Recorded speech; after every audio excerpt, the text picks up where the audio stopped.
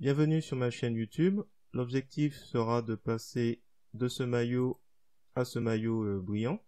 Donc là encore, je peux régler l'intensité et l'éclat. Donc voilà. Peut-être pas trop non plus. On va baisser un petit peu. Donc euh, si vous trouvez le résultat réussi, je vous remercie de me mettre un pouce vers le haut et de me laisser un commentaire. N'hésitez pas également à vous abonner à ma chaîne pour voir d'autres contenus de ce genre. Et sur ce, je vous souhaite un bon visionnage.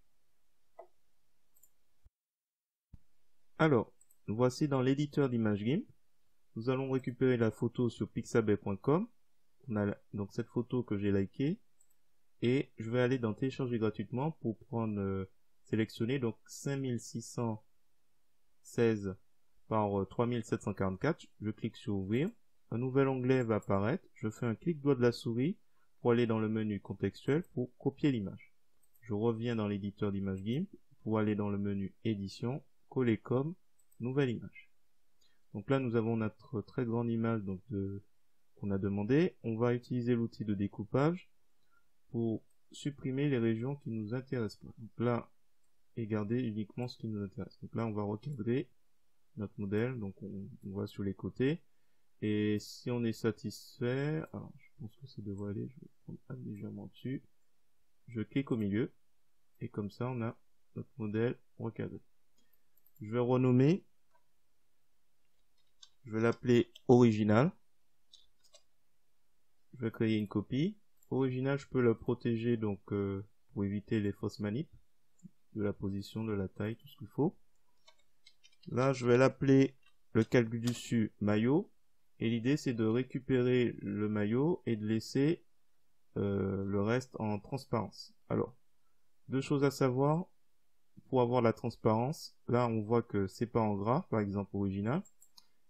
Si, alors là, je vais retirer le verrouillage. Si je fais un clic droit de la souris et que je fais supprimer le canal alpha, on retrouve en gras. Ça veut dire que là, il n'y a plus l'information de transparence. Donc là, par rapport à celui de dessus, c'est pas en gras, on a l'information de transparence. Donc ça veut dire qu'on pourra mettre la transparence. Il suffit de cliquer euh, bouton de doigt, droite de la souris, et en fait quand vous descendez dans le menu contextuel, vous n'avez plus qu'un seul menu. Ici, là il me dit bien que il me propose uniquement la suppression des informations de transparence du calque. Donc moi je veux les garder, donc je ne vais pas le faire. Donc on est sur maillot, on va faire un petit détourage, je vous laisse le choix euh, du, de l'outil. Je vais préférer prendre l'outil de chemin, parce que l'idée c'est de tout récupérer. Donc là c'est simplement, l'idée c'est de reprendre. Donc c'est comme d'habitude, hein, c'est, on fait un clic, on arrondit selon les zones, et par exemple là, si je, je sais que je veux repartir par là, je prends un exemple, je prends le point de contrôle ici, et je sais que par exemple, je vais pouvoir voir mes éléments tout droit. Voilà. On va essayer d'aller vite ou je vais accélérer la vidéo.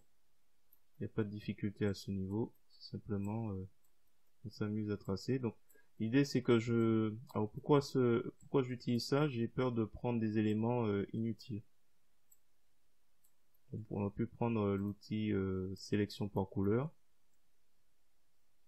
là par exemple, bon je on verra pas ce que ça donne. Voilà par exemple, et je vais accélérer la vidéo. Donc là nous sommes revenus à notre point de départ.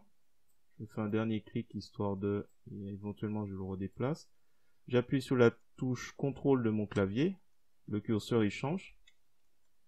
Et quand je vise le premier point, je peux refermer mon tracé. Et je vais faire la même chose en bas. Donc là, je vais à nouveau recliquer et refaire tout un tracé. Donc je vais accélérer la vidéo à nouveau.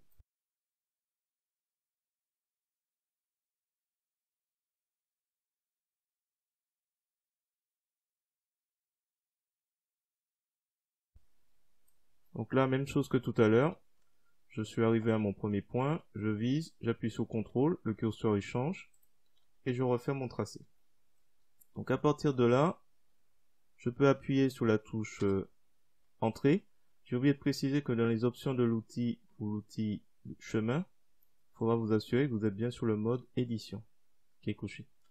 Donc là, nous avons notre sélection qui est active. On fait un clic droit de la souris, ajouter un masque de calque. On a une sélection, donc on sélectionne, initialiser le masque de calque à sélection. Ajouter. Donc à la limite, je vais retirer la sélection, aucune. Et on va cliquer sur autre chose pour que les chemins disparaissent. Alors à partir de là, il nous reste plus que nos maillots. Donc là, on voit qu'il reste encore des choses à retirer. Je vais me rapprocher. Je m'assure que je suis bien sous le masque de calque. Je prends l'outil pinceau et je m'assure que la couleur de premier plan active est bien la couleur noire. Et je prends euh, une brosse, peu importe, peut-être 75 en dureté. Et l'idée c'est que, je vais augmenter la taille, je retire tout ce qui n'est pas du textile. hop, je suis allé trop vite. Donc si je me trompe, je change les couleurs. Mets euh, couleur blanche.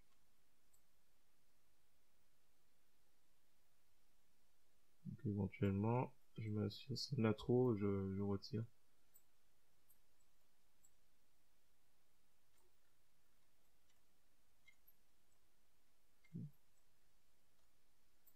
Je pense que finalement, cette partie, c'est peut-être pas du tissu. On va retirer. Il n'y a pas grand chose, hein. Là, je, c'est juste histoire de, au cas où on s'est vraiment loupé sur un endroit, on l'a loupé. On l'a pas vu. Voilà, je vais m'arrêter là. C'est pas la peine d'aller plus loin. Euh, une fois qu'on est satisfait, on peut appliquer ici, en cliquant droite, avec le clic droit de la souris, appliquer le masque de calque.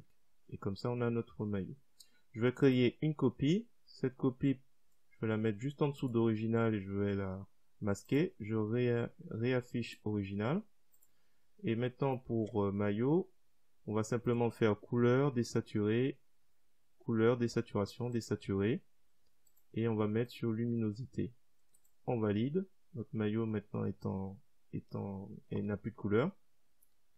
On va dans filtre, bruit, bruit TSV.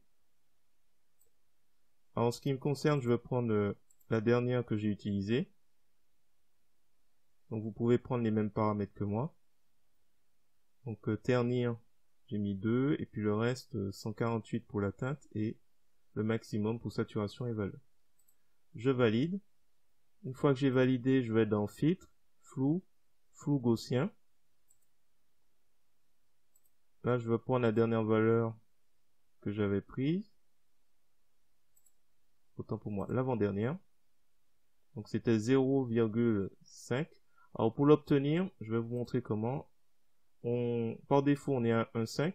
On descend juste de, juste euh, en cliquant en dessous euh, du petit bouton. Et on fait valider. Une fois que c'est fait, on va s'amuser à aller dans filtre, ombre et lumière, étinceler. Donc là, normalement, ça devrait... Voilà. Normalement, on voit... Alors, il faut se méfier un peu de l'aperçu. Donc là, euh, là déjà, je vois qu'il y a... je vais me mettre ici. Voilà. Donc on voit qu'il y a déjà quelques quelques éléments, il faut pas que ce soit euh, totalement euh, brillant, on va déjà voir un peu ce que ça donne. Il faudra peut-être que vous refassiez plusieurs essais. Donc moi je suis sur couleur naturelle. Si jamais vous trouvez que c'est pas assez, on va jouer avec le seuil de luminosité. Là je suis à 0,002. Vous pouvez prendre les autres paramètres si c'est nécessaire. Mais voilà, si je veux être trop trop loin, ça devient très bizarre. Donc, enfin très bizarre ça devient trop. Donc il faut choisir vraiment une... Il faudra sans doute très certainement dans cette étape, euh, comment dirais-je, tâtonner. Donc là, je vais faire valider. On va voir ce que ça donne. Voilà, ça donne cette apparence. Alors, on va faire créer une copie. Je vais l'appeler euh, éclat. Je vais simplement faire changer le mode et je vais aller sur éclaircir. Donc là, on se retrouve avec quelque chose d'assez euh, brillant. Donc on a le choix euh, pour l'opacité de faire baisser un petit peu. Je fais baisser. Donc je suis sur éclat et je fais baisser l'opacité. On pourra le doser. Euh, le maillot. je me rappelle plus si j'avais pris une copie. Oui. Enfin non. Je vais devoir faire une copie de celui-là. On va le descendre tout en bas. Donc je garde les copies. Et là, en fait, je vais faire une transformation assez majeure. Je vais aller dans Filtre, Flou, Flou gaussien. Donc je suis sur maillot. Donc je vais remettre le... Je vais mettre à 12. Lors de mes tests, j'étais à 12.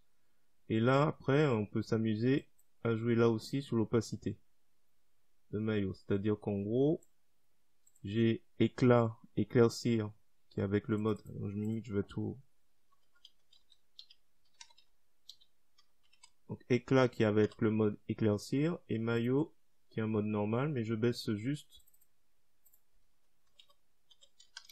Je rajoute normal et je rajoute l'opacité. Enfin bon voilà, je dose selon mes, goûts. pourquoi? Parce que bon, au niveau de l'ombre, on, on voit plus trop. Donc là, il faudra certainement euh, abaisser pour que ce soit intéressant. Donc éclat, éclat peut-être. Pour jouer avec les deux. Voilà, je vais m'arrêter là. J'espère que c'est pas... C'est réussi, j'espère. J'essaie de doser pour que ce soit pas trop. Enfin bon, voilà. Il me reste peut-être les lunettes à faire. Ça aurait pu être sympa aussi les lunettes. Donc là, on a terminé. Alors je vais ranger un peu. Je vais créer un groupe de calque. Je vais l'appeler archive. Je vais mettre mes copies avant les transformations destructives.